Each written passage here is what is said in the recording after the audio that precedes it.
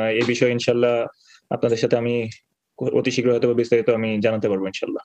বাংলাদেশের ক্রিকেট দুনিয়ায় আরও এক নক্ষত্রের পতন। বাংলাদেশের ক্রিকেটে নেমে আসলো কালো এক ছায়া। অবশেষে ক্রিকেটকে বিদায় জানালেন সাইলেন্ট কিলার খ্যাত মাহমুদুল্লাহ রিয়াদ। এবারের ওয়ানডে বিশ্বকাপ শেষ করে বাংলাদেশ পা রাখে টাইগার বাহিনী। যদিও বিশ্বকাপে কেউ নজর করা পারফরমেন্স করতে না পারলেও মাহমুদুল্লাহ রিয়াদ দেখিয়েছেন তার অভিজ্ঞতার বিচার।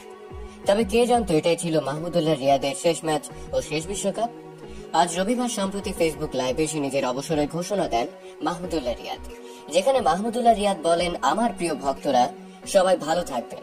এখন থেকে আর আমার পক্ষে ক্রিকেট খেলা চালিয়ে যাওয়া সম্ভব নয়। একদিন সবাইকে ক্রিকেট থেকে বিদায় নিতে হবে। আর সে পক্ষের সাক্ষী হলাম আমি নিজেও। তবে আমার দুঃসময় যারা আমার পাশে ছিলেন, তাদের প্রতি রইল ভালোবাসা। প্রিয় দর্শক মাহমুদুল্লাহ রিয়াদের বিদায় নেওয়ার বিষয়টি নিয়ে আপনাদের মন্তব্য কমেন্ট বক্সে জানাতে পারেন এবং আমাদের চ্যানেলকে সাবস্ক্রাইব করে রাখুন। ধন্যবাদ।